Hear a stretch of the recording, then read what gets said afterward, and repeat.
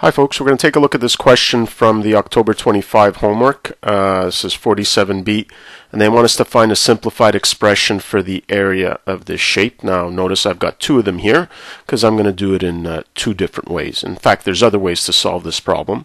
Uh, first thing I want to mention that uh, the side lengths that are given all have variables in them.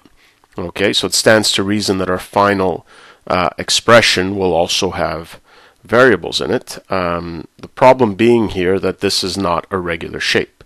Uh, so just as you would have done uh, last year, the previous year, when you're trying to find the area of an irregular shape, is you try to split it up into uh, a combination of shapes that you do know how to take the area of. And in this case here, I think it's pretty clear that we can split this up into rectangles. Okay. Now there's more than one way that we can split this up into rectangles.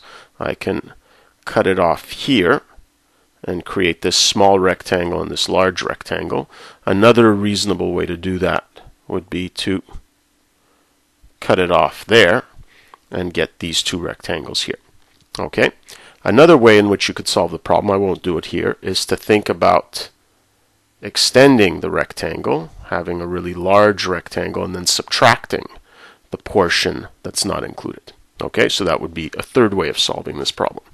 Okay, so in order to solve this though, we need to now find the um, missing uh, missing dimensions here. Okay, so what I'll do, again, because I want my communication to be very clear, is I'll call this rectangle 1 and I'll call this rectangle 2. So if I look at rectangle 1, I already have the length of this rectangle. It's just 2x. What I'm missing is the width of the rectangle. Okay, so how do we find that? Well, we know that this whole side is 4y plus 7, okay? And we know that this portion here is the same as that one there, is 3y. So if we want just that little part, we just subtract the total length of the line minus the part that we're not including. Okay, so this length here would just be 4y plus 7 minus 3y. Okay, which we can now simplify by combining like terms. So 4y minus 3y is just y, and then we have the plus 7. Okay, so now we have the length and width of this smaller rectangle. Okay, let's take a look now at rectangle 2, the larger one. Well, I already have the width of the rectangle. Okay, that's 3y. What I need though is the length of this rectangle here.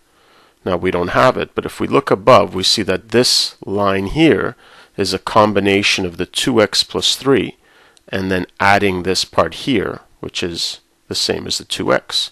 So if I'm looking for the length of this rectangle, I just have to add 2x plus 3 plus 2x to get the total length.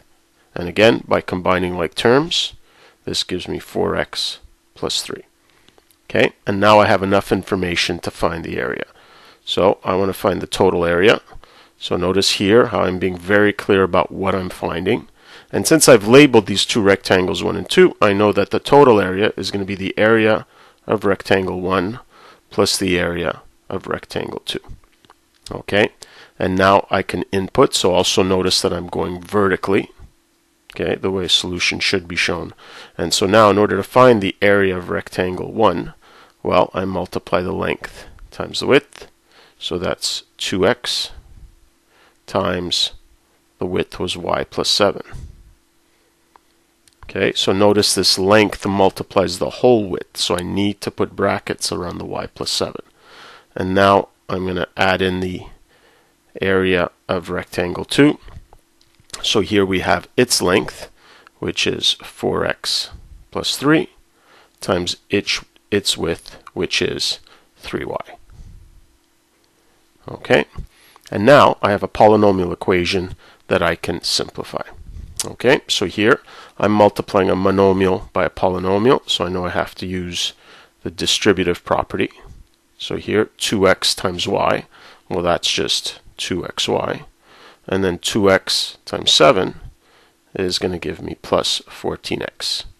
Okay, now here I have again a monomial times a polynomial. So remember, it doesn't matter in what order I do the multiplication. So again, I'm multiplying this monomial. I have to use a distributive property. Okay, so here we have 4x times 3y, so 4 times 3 is 12, positive 12. x times y, no simplification that we can do. And then here we've got 3 times 3y gives me 9y. And of course at this point here I have to add together like terms and the only like terms are the 2xy and the 12xy. Okay, so we have 2 plus 12 is 14xy. Then we've got plus 14x and then plus 9y. Okay, so now let's do it the other way and ensure that we get the same answer because the area doesn't change regardless of how I split this up. Okay, so let's do this one here and see if we can go a little faster. Okay, and in fact, I'm noticing here that if I look at this rectangle, hey, look at uh, if I call this rectangle 1 and rectangle 2, let's take a look at rectangle 1. I already know the length of rectangle 1, and I know the width of rectangle 1. Same thing with rectangle 2. I know the length and I know the width. Okay, so perhaps with some forethought, I would have seen that this was the easier way to split up this irregular shape. Okay, but I definitely did want to show you this other method. Sometimes it doesn't work out so nicely. So let's do it this easier way now and make sure that we get the same answers before. So again, I'm going to get put in my total area is area of this rectangle 1 plus the area of that rectangle 2.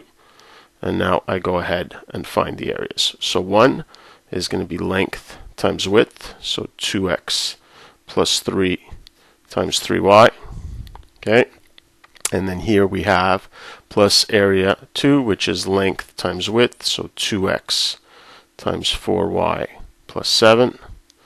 Okay, and now we do as we did before.